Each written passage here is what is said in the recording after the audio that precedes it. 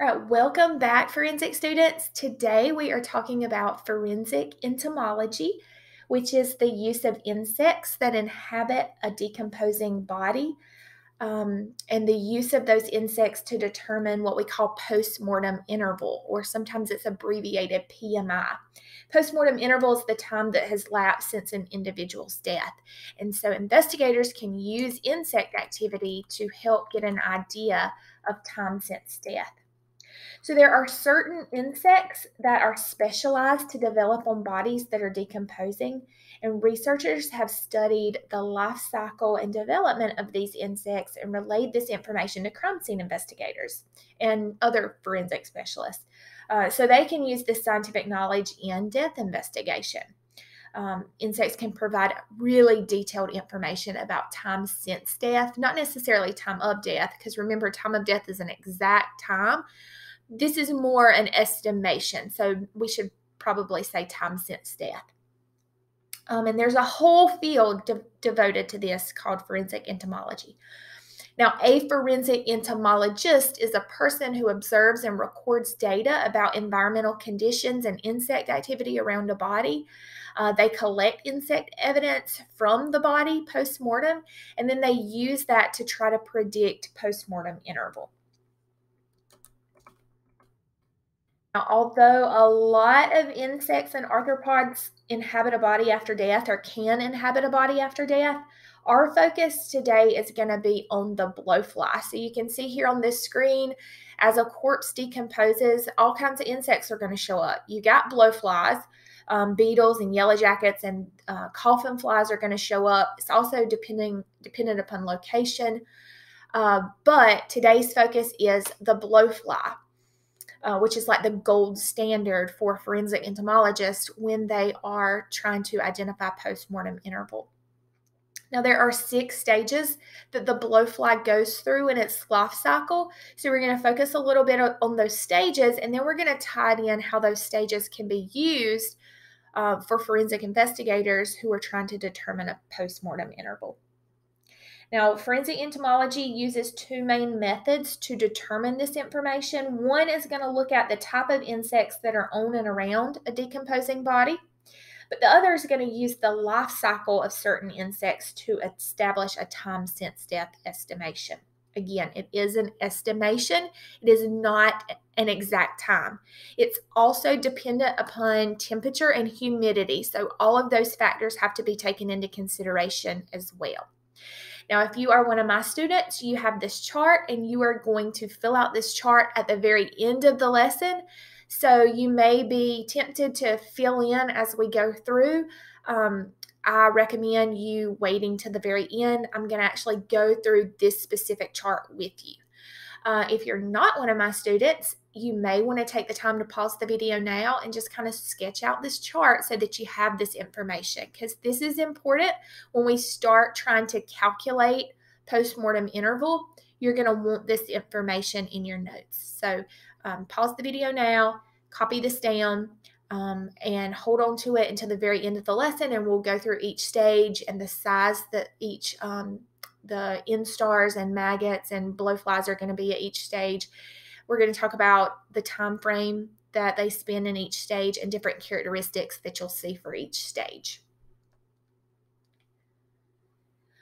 All right, so this is sort of um, the life cycle. Again, if you type in the life cycle of a blowfly in Google, uh, you may or may not see this exact information if you watch videos on YouTube about forensic entomology and the life cycle of a blowfly, you may or may not see this exact information. Um, this information is dependent upon environmental conditions like temperature and humidity, also access to the body. Uh, so, a lot of different factors have to be considered. I'm just giving you the basic groundwork uh, for just basic information about forensic entomology and the life cycle of a blowfly. All right, so first, uh, blowflies have an incredible sense of smell. They're going to show up very quickly after death.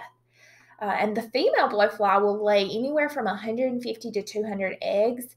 And within a day, those eggs will hatch into first stage larvae. Um, and so you have eggs, they're, they're going to be very small. They're going to be laid in moist, warm environments. That's what the blowfly looks for um, when she's trying to lay her eggs. Uh, now, these larvae are very tiny. The first star, first instar larvae, are very tiny, um, but they can range anywhere from one millimeter to 10 millimeters, um, which is still very tiny, but there's a, a wide range there in size. Uh, at this stage, they are very hungry and they're going to crawl into the recesses of the body and they're going to begin feeding. And within 24 to 48 hours, they're going to molt into the second stage maggot, and we call that instar 2. Now, another 24 to 48 hours, they're going to molt into their final stage, which is the third stage. Um, often, this is referred to as instar 3, which you can see on your um, on your screen. So this happens pretty quickly. Now, these instar 3 maggots are going to feed for about three to four days. Uh, this would be in warmer environments. It would take a little longer if the temperature or humidity were decreased. So we like to say anywhere from 3 to 12 days after death, um, the maggots will feed. When they are finished feeding, they're going to disperse away from the body and they're going to be looking for somewhere to pupate. Uh, so this is referred to as a maggot trail by forensic investigators. Uh, and I actually have a picture in a few slides over that I'll show you of a maggot trail. Um, but once the maggots crawl away from the body uh, and they they're going to um, recess inside of the pupa, and the maggot's actually going to undergo metamorphosis and will emerge as an adult blowfly several weeks later. So the pupa cases, cases will split open. The adult blowflies will emerge. Uh, and one of the distinct characteristics that a young blowfly that's just hatched will display is crumpled wings. So investigators know um, that if they're working a crime scene and they see a blowfly that has crumpled wings, they know that that blowfly has just hatched. Uh, and so that will help them in determining postmortem interval. Right, so you may want to pause your screen and just take a look at this. This is just a picture or an image of the um, life cycle of a blowfly. Uh, and you can see sort of the progression and the time frame there. These are some pictures of stage one. This is uh, at the egg stage uh, and a little bit of the instar one stage. Um, and you will notice here that these uh, blowflies are going to want to lay their eggs. They're looking for those moist areas. So common places that blowflies like to lay their eggs um, on a deceased body is in orifices, uh, such as the mouth or the nose, sometimes the groin, sometimes ar- armpits, sometimes eyes, uh, wounds. If there's a wound on the body, blowflies will uh, likely lay their eggs there. So, all of those are common areas where blowfly eggs can be found.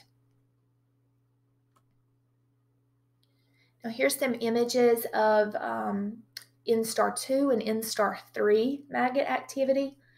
Uh, this specifically here, this picture is in the upper right hand corner is instar 2.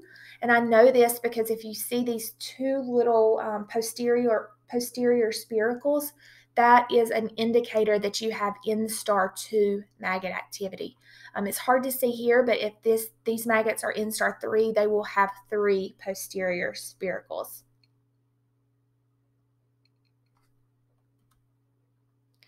This is what I was talking about that's referred to as a maggot trail.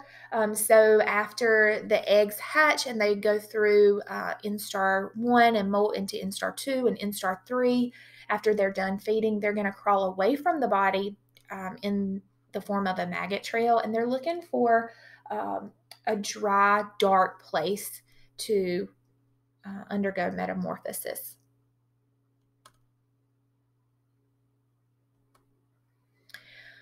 All right, so this is the chart that I was talking about um, at the beginning of the lesson. So you're going to want to pause this and fill this in because, again, this is going to be helpful when we start trying to determine time since death or postmortem interval, uh, depending on blowfly life cycle stage.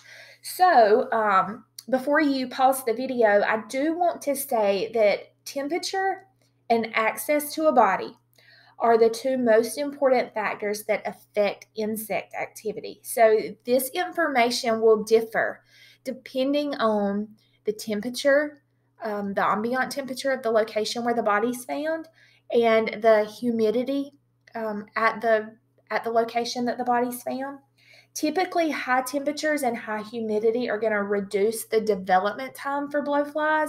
So, basically, the process of moving from egg to maggot to blowfly will happen much faster in higher temperatures. Now, since insect development is um, temperature dependent, postmortem interval is normally calculated by accumulated degree per um, degree day or accumulated degree hour. Uh, you may your teacher may go further into that uh, and give you more information about that. Um, so if insects are able to easily access the body, the time frame of development will also be faster uh, than a case where a body is not easily accessible uh, to blowflies. So I did want to mention that before we end the lesson. So that ends forensic entomology and the life cycle of a blowfly. Make sure that you get this information down. I highly recommend you do some further research on this because we could go into so much more detail. But since this is a basic forensics course, we'll just leave it here. Um, and I will see you in the next lesson.